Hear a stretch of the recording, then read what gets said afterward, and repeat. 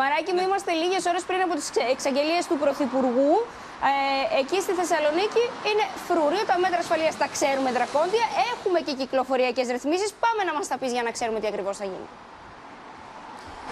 Πραγματικά ένα κοκτέιλ έτσι, διαδηλώσεων ε, αρχής γενομένης από σήμερα 8 και μισή στο Ιπποκράτιο από την ε, ΠΟΕΔΗΝ με πορεία προς το Υπουργείο Μακεδονίας Θράκης. 6 ώρα το απόγευμα συγκέντρωση και πορεία διαμαρτυρίας από ένστολους. Και φυσικά όλα αυτά θα, και οι διαμαρτυρίες και οι συγκεντρώσεις και οι πορείες σε κεντρικούς δρόμους θα κορυφωθούν αύριο. Οπότε θα έχουμε και την επίσκεψη του Πρωθυπουργού Κυριάκου Μητσοτάκη στην 86η Διεθνή Έκθεση Θεσσαλονίκη. Δρακόντια πραγματικά τα μέτρα ασφαλείας και φέτος. 3.500 οι αστυνομικοί. Θα δώσει το παρόν και η Άβρα, το υδροφόρο όχημα της ελληνικής αστυνομίας, ελικόπτερο της Ελλάς, ντρόν.